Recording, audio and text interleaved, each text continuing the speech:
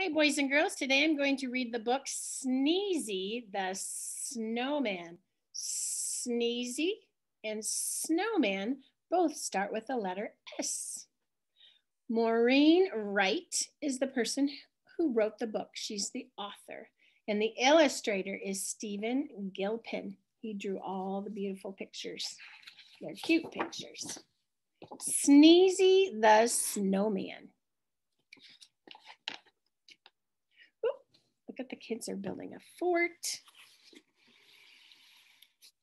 They're throwing snowballs. Sneezy the snowman shivered. Brr, it's cold out here, that's for sure. I need a drink to warm me up. So he drank hot cocoa from a cup.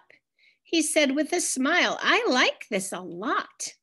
And then, right there, believe it or not, he melted from drinking something too hot.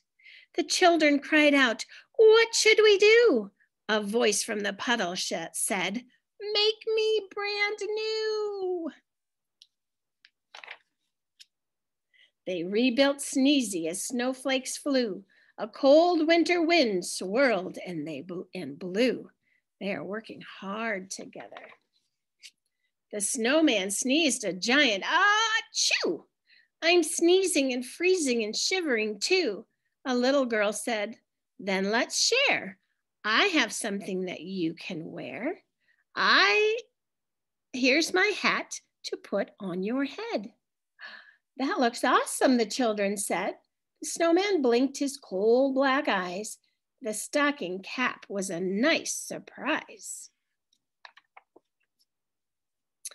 But Sneezy the snowman shivered. Brrr, it's cold out here, that's for sure.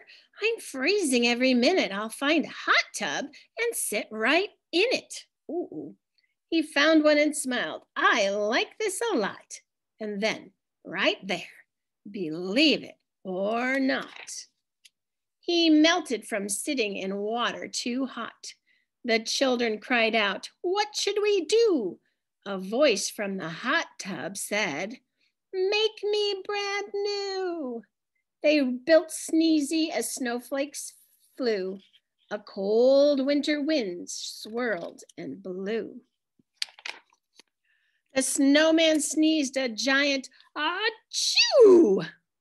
I'm sneezing and freezing and shivering too, the little boy said. Then let's share. I have something you can wear. Here's my scarf that's red and blue. I think it would look great on you. He has a scarf that has a pattern. Blue, red, blue, red, blue, red, blue, red. A lot of scarves have cool patterns on them. The snowman blinked his coal black eyes. The colorful scarf was a nice surprise. It went very well with his long pink hat. The children all said, How about that? But Sneezy the snowman shivered, Purr, it's cold out here, that's for sure. I need to feel some warmth on me. There's a campfire by that tree. Uh oh. What do you think is going to happen? Hmm he said with a smile, I like this a, not, a lot. And then, right there, believe it or not, he melted from standing beside something hot. The children cried out, What should we do? A voice from the puddle said, Make me brand new. They rebuilt Snow Sneezy as snowflakes flew. A cold winter wind swirled and blew. The snowman sneezed a giant, Achoo! I'm sneezing and freezing and shivering too. A little girl said, Then let's share. I have something you can wear. Here's my coat, the perfect fit. I know that you'll look good in it. Uh oh, now she is cold. The snowman blinked his coal black eyes. The bright orange coat was a nice surprise. And it went very well with the scarf and hat. The children all said, How about that? But Sneezy said, Whew, I'm way too hot. I'll take off all the new clothes I've got. The children yelled, No, that's not the way. Let's listen to what we have to say. Buy something cold at the ice cream store. Have two scoops, or three, or four. Look at they're all going. This little bird has two scoops. Sneezy ate ice cream. Ooh, let's see how many scoops he bought.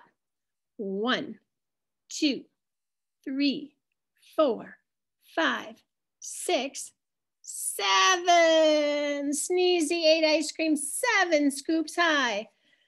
This is great, the snowman cried.